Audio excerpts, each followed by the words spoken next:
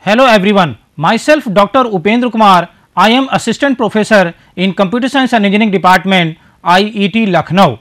So, I am going to discuss today in this lecture the, the application of dynamic programming that is the matrix chain multiplication problem.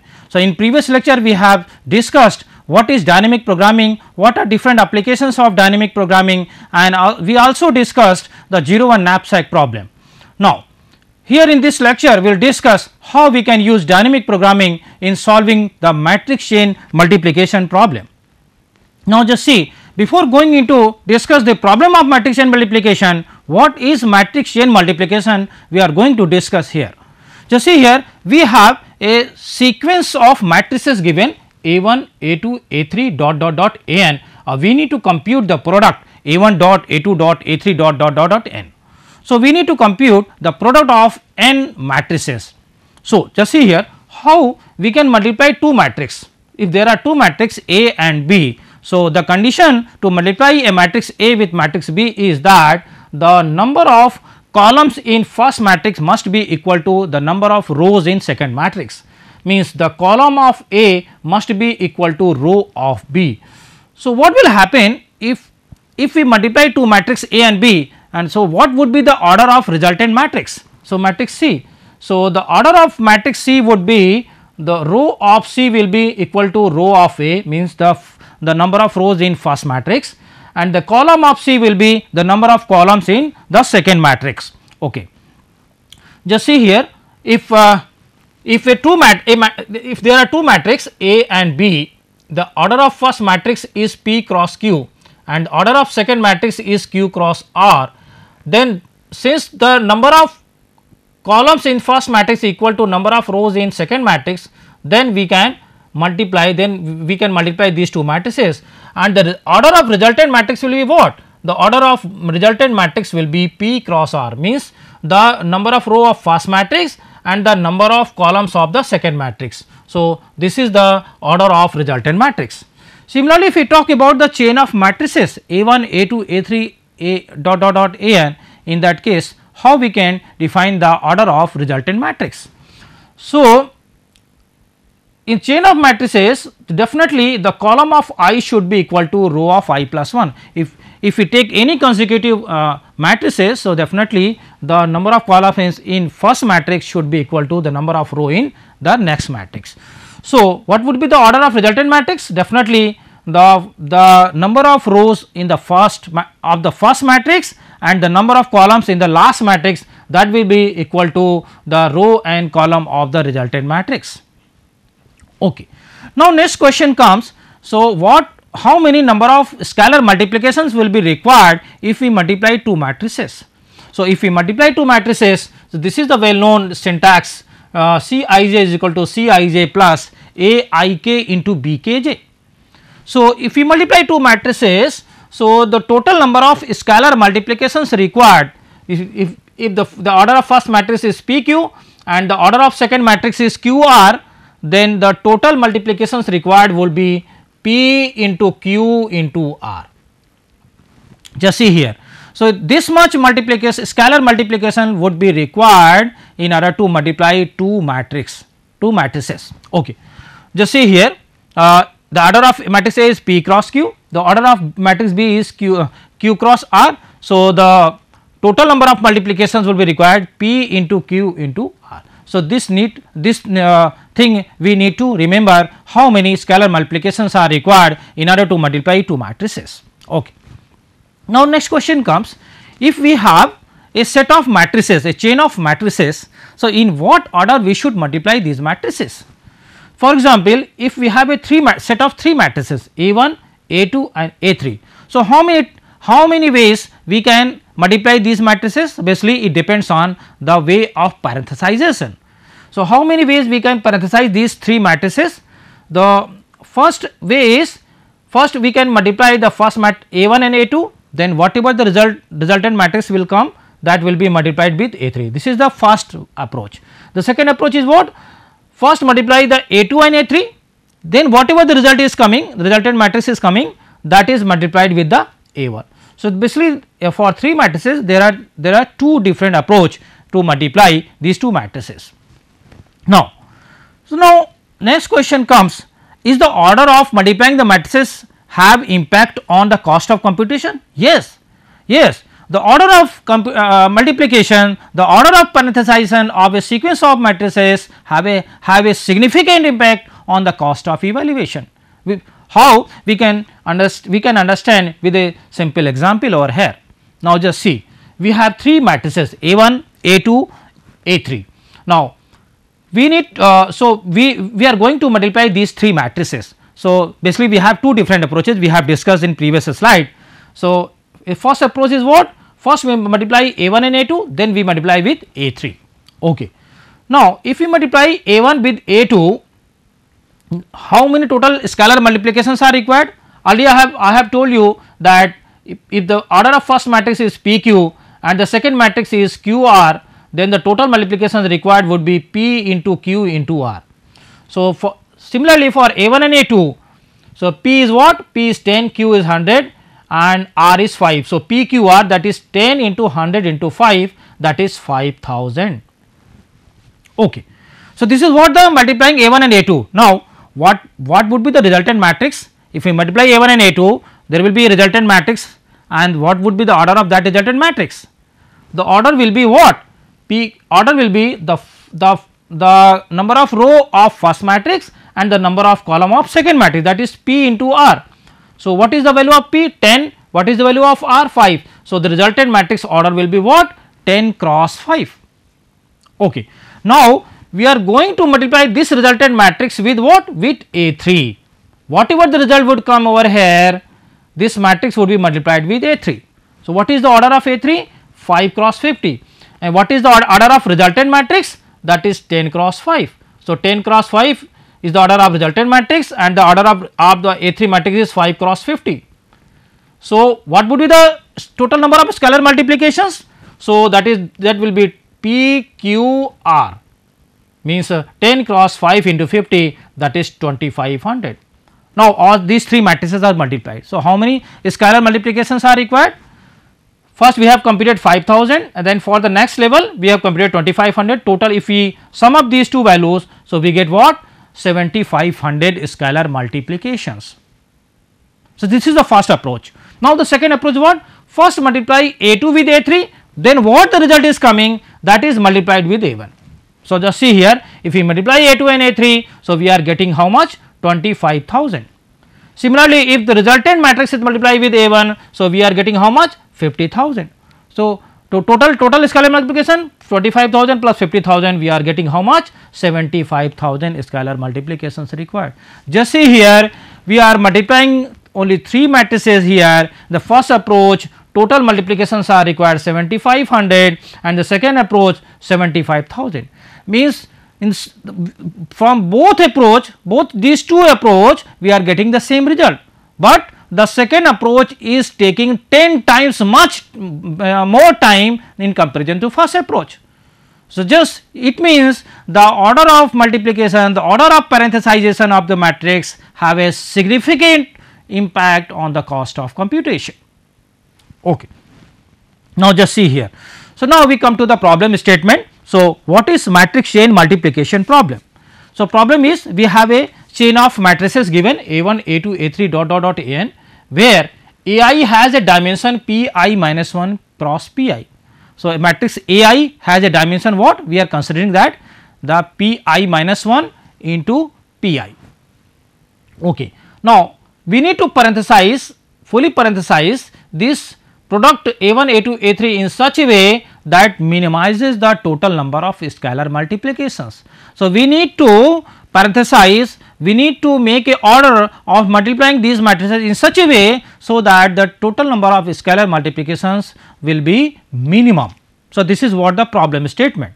Now, we have n number of matrices A1, A2 dot dot dot AI dot AI plus 1 and AN. So, we need to so the order of A1 matrix is uh, already we have discussed for AI for AI the order should be P i minus 1 cross P i. So, for A 1 this will be P A 1 means I, we will put the value I 1. So, 1 minus 1 P 0 and P 1. So, the order of first matrix A 1 will be P naught P 1. Similarly, A2 P1 P2, A3 P2 P3, AI Pi minus 1 Pi. Similarly, AN Pn minus 1 Pn. So, these are what these are what the order of these matrices.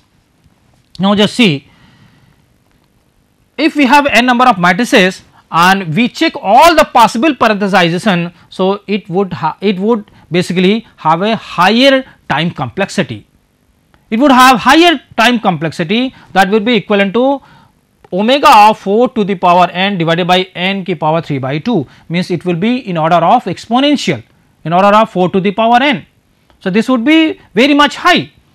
So, what we do? So, our the alternative our alternative solution is we have to apply the dynamic programming approach that would help us in reducing the time complexity.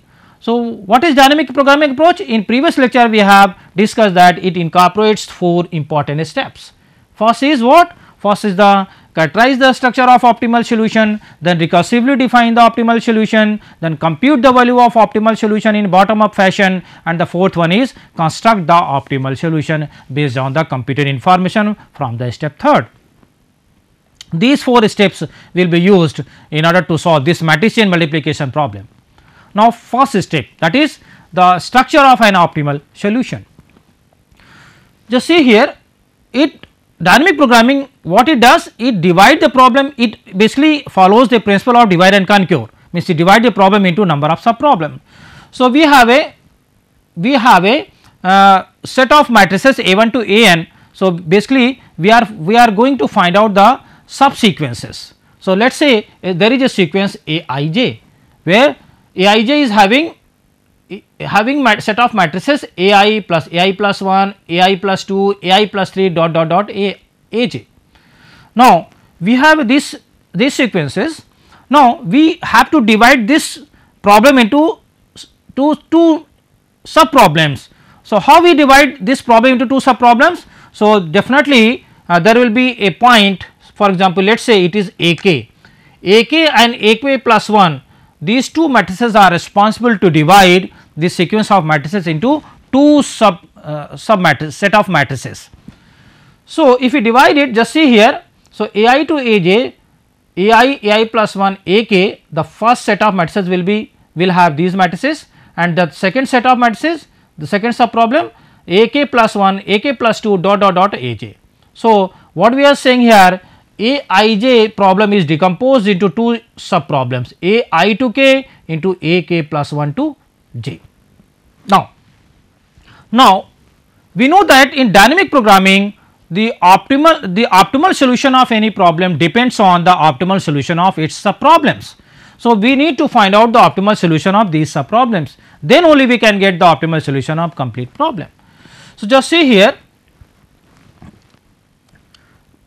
this here we are going to recursive de define this uh, situation here.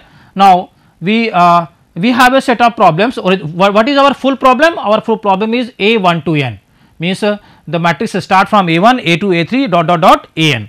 Now, we need to find out a, a value m 1 n. So, m is what? Basically, we are going to compute a matrix m. So, matrix m. So, the block the value of block m 1 n will give the answer okay. Now just see if i is equal to j, if i is equal to j means there is only single matrix. So there is there will be no any cost of computation because uh, the single matrix will not be multiplied with anyone.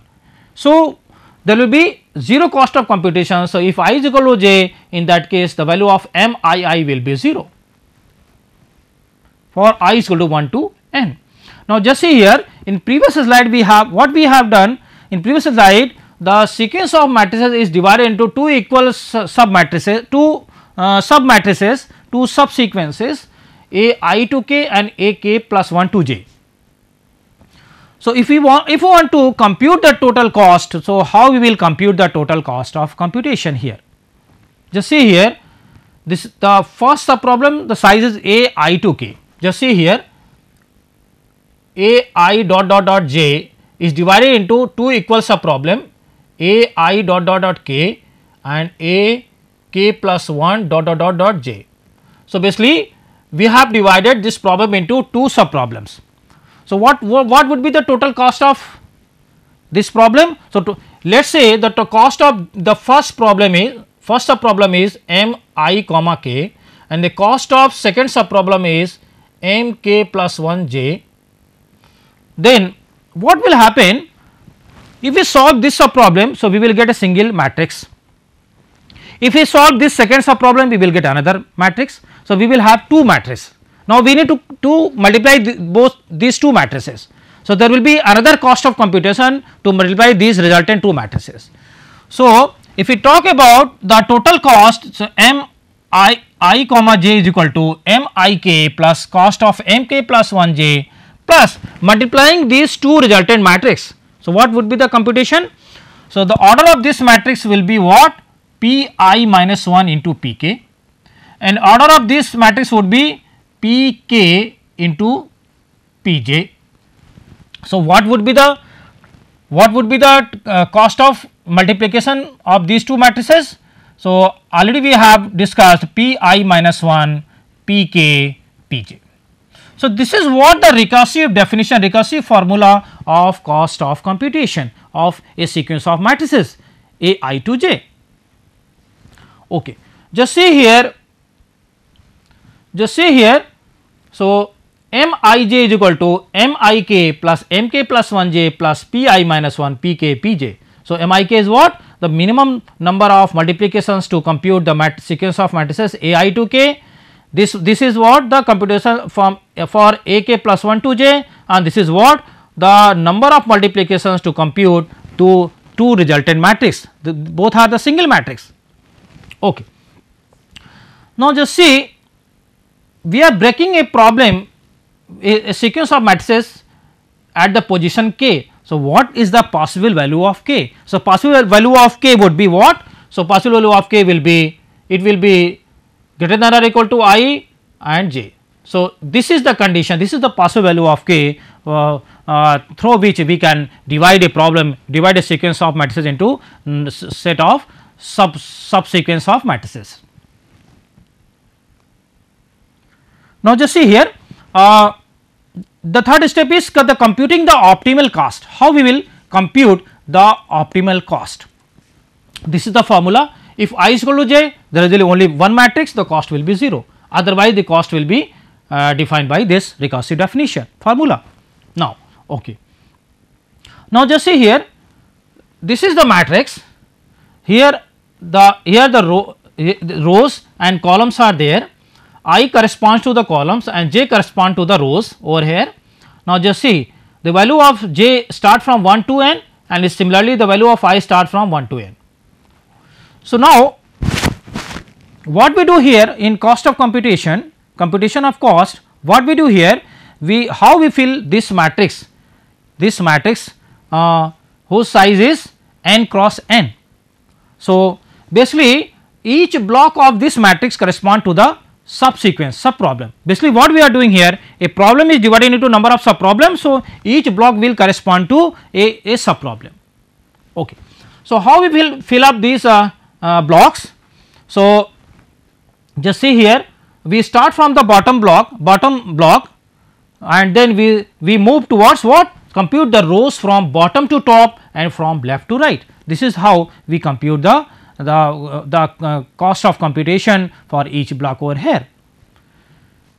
Just see here if you want to compute a value of m to 5 means second row and fifth column. So, second row and second row and fifth column this is what the second row and the fifth column is what this one okay 1 2 3 4 and 5 so this one this block value so, how we will find out the value of this block? So, recursive formula says that recursive formula says that the value of k varies from i to j. So, what is the value of i 2 what is the value of j 5. So, the possible value of k will be what will be will be 2 then 3 then 4. So, less it should be less than j. So, 2 3 and 4. So, means uh, there are 3 ways to parenthesize this sequence of matrices. So, M 2 5 means A 2, A 3, A 4, A 5 these matrices we need to parenthesize. So, there are three different ways either we can parenthesize at 2 or 3 or 4. So, among these three which one is the minimum that value will be put over here. So, just see here if uh, k is equal to 2 then m i j is equal to minimum of m i k plus m k plus 1 j plus p i minus 1 p k p j. Similarly, for k is equal to 3, similarly for k is equal to 4. Just see here we need the value of these blocks. If we do not know the value of these blocks, we cannot compute the value of this block here. That is why we move we start from the bottom level then we move upward as well as from rightward. Okay. Now just see here if we are putting the value of k, k is equal to 2 here so we are parenthesized like this we are breaking this problem at a2. If we are putting the value of k is equal to 3 then we are breaking at a3 if we are putting the value of k is equal to 4 then we are breaking at a4. So, this is this is the point this is the value point where we are breaking a problem into sub problems. Now, now this is the algorithm to compute the optimal cost and the solution. So, basically the uh, uh, first line what we are doing. So, basically in first line first line what we are doing the diagonal values is filled with the 0 value because i is equal i is equal to j means there will be a single matrix. So, no cost of computation 0.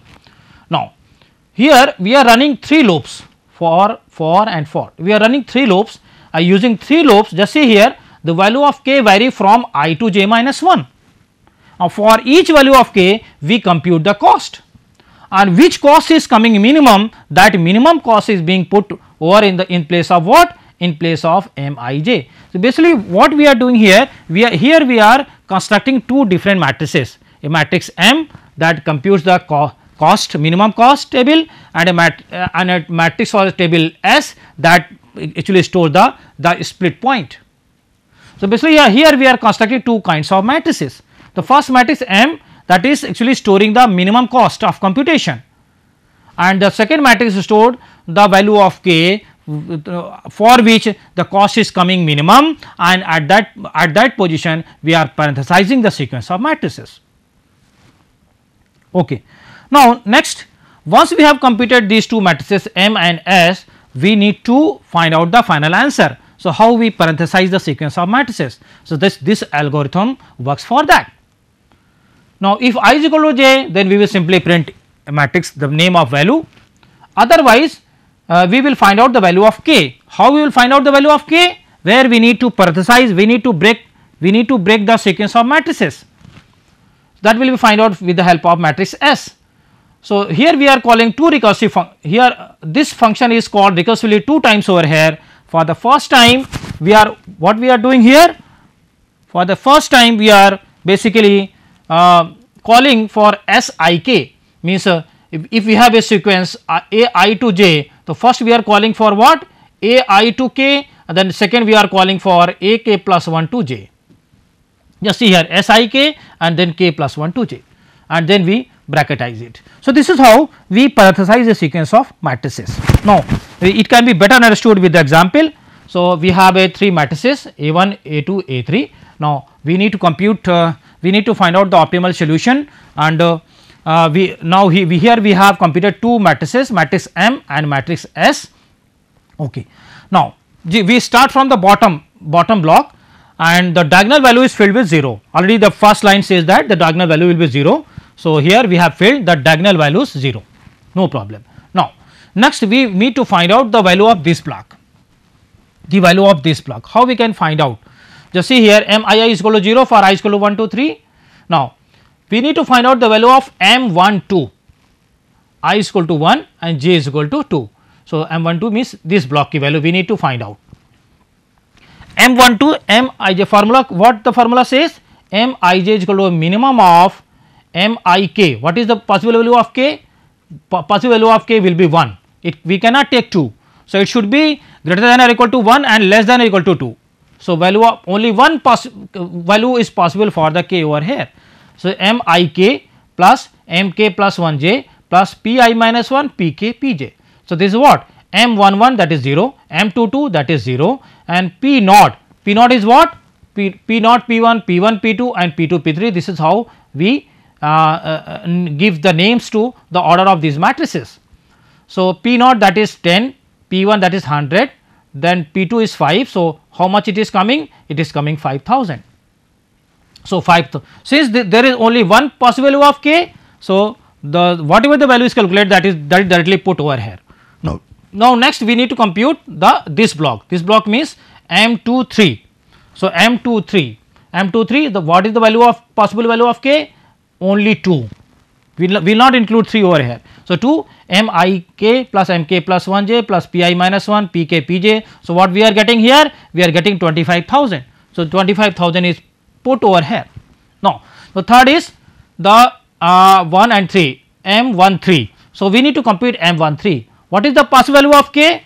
Possible value of k will be 1 and it can also be 2, but it cannot be 3 1 and 2. So, basically there are two possible value of k. So, first we compute for k is equal to 1 then we compute for the k is equal to 2 and then we find out the minimum value. So, if we put the k is equal to 1 so we are getting 75000 if we put the k is equal to 2 we are getting 7500. So, which one is the minimum? 75 100 is the minimum. Uh, 7500 is the minimum. So minimum value is put over here.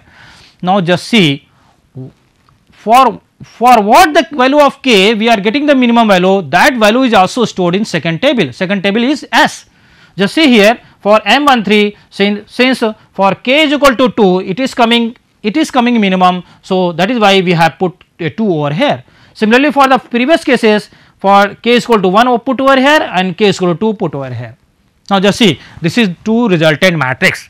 Now, this two tables is having our answer. So, what what the topmost block value is actually basically uh, is, is the total multiplication total cost of computation that is 7500 this is your answer and corresponding value is the corresponding value in S matrix is 2. So, the to second is the place where we can parenthesize the matrix sequence of matrix and we can get the minimum scalar multiplication. So, A1, A2 and A3 second is the place if, if we multiply this way we can get the, the minimum scalar multiplications.